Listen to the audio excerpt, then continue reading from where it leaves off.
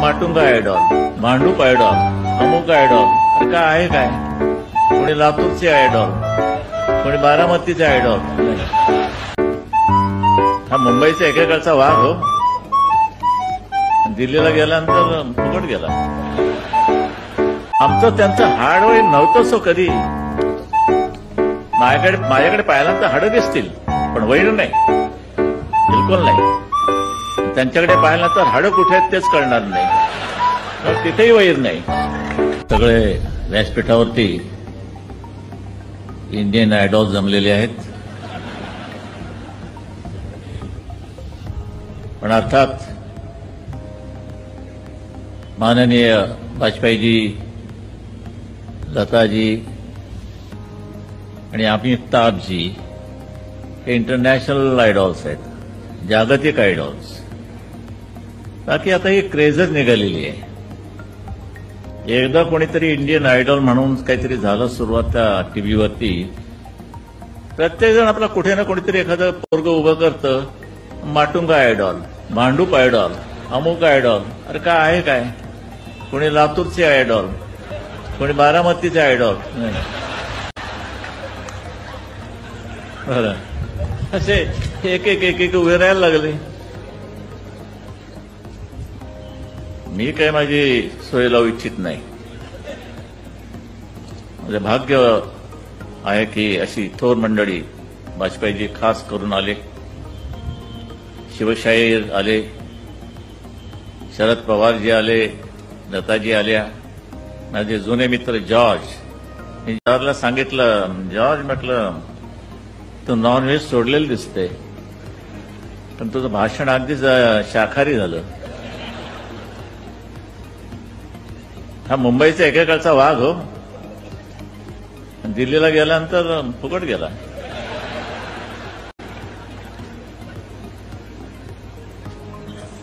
आज शरद पवारांनी पत्रकारांना खूप नाराज केलं असणार.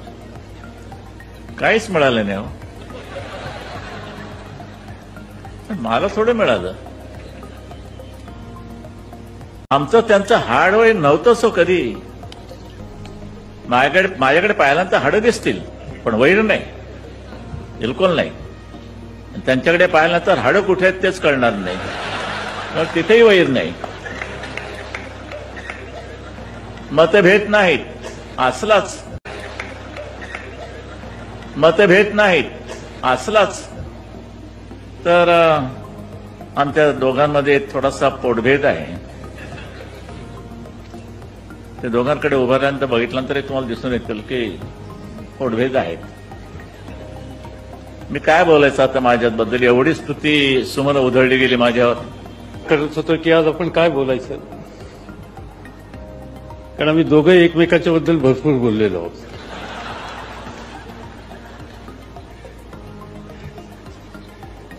माझी कदाचित पुणेरी भाषा असेल त्यांची अस्सल ठाकरी भाषा. शब्दाची निवड करताना त्यांनी कधी मागं पुढं पाहिलं नाही. आणि काटकसरी दाखवली नाही. अचूक मुक्त हस्ते शब्दांचा प्रचंड मारा करण्याच्या संबंधी बाळासाहेबांचा हात कोणी धरणार नाही. गेले अनेक वर्षाचे आमचे कधी संघर्ष झाले अनेक वेळेला एकत्रित बसलो. विविध प्रश्नांच्या संबंधी मोकळेपणानं चर्चा केली. त्यांनी आपली रोखटोक मतं कधी आमच्यापासून किंवा कुणापासून लपून ठेवलेली नाहीत हा बाळासाहेबांचं वैशिष्ट्य. मला आठवत आहे त्यांची पहिली सभा मी पाहिलेली होती की ज्या वेळेला रामराव अधिक हे स्टेजवर होते. आणि संघटनेच्या निर्मितीच्या संबंधीची भूमिका बाळासाहेबांनी मांडलेली होती. आमचे एक मित्र होते डी के देसाई म्हणून. बाळासाहेबांचे मित्र होते. त्यांच्या समवेत ती सभा आम्ही दुरून ऐकलेली होती. आणि त्यावेळेला सांगत होते देसाई आम्हाला की सुरुवात आहे महाराष्ट्राच्या समाजकारणावर एक जबरदस्त ठसा उडवण्याच्या बसवण्याच्या संबंधीचं कर्तृत्व या व्यक्तिमत्वात आहे. नंतरच्या काळातला महाराष्ट्राचा इतिहास ज्यावेळी लिहिला जाईल तो मतभेद असले मतभिन्नता असली तर तो बाळासाहेबांच्या शिवाय पुरा होऊ शकणार नाही. याच्याबद्दल कोणाच्या मनामध्ये शंका? कधी आंदोलनाचा फटका हा माझ्यासारख्याला सुद्धा बसलेला आहे. पण अनेक वेळेला मी एकत्र आलो. एकत्र बसलो गप्पा मारल्या. कदाचित तुमच्यापैकी कोणाला माहिती नसेल. राज तुलाही माहीत नसेल उद्धव तुलाही माहीत नसेल. बाळासाहेबांनी आम्ही म्हणून एकत्र व्यवसाय केला होता. आम्ही एक पाच सहा मित्रांनी मिळून एक मासिक काढलं. बाळासाहेबांच्या घरी सगळी चर्चा झाली. मासिक काढायचं ठरलं. पाच पाच हजार रुपये प्रत्येकाने गुंतवणूक करायची ठरली.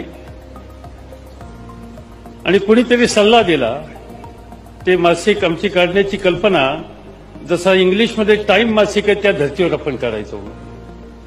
आणि कुणीतरी सल्ला दिला की पहिला अंक तुम्ही सिद्धिविनायकाला जो अर्पण करा तो एवढा खपेल की कुठे दिसणारच नाही. आणि पहिला अंक आम्ही सिद्धिविनायकाला अर्पण केला पुन्हा तर कधी दिसलाच नाही. तो धंदा व्यवसाय एकत्रितपणाने केला. ज्यांनी कोणी त्यांना सल्ला दिला असेल त्यांची भेट झाल्याच्यानंतर बाळासाहेबांनी त्यांचं स्वागत कसं केलेलं असेल याच्याबद्दल मी काही अधिक सांगण्याची आवश्यकता नाही.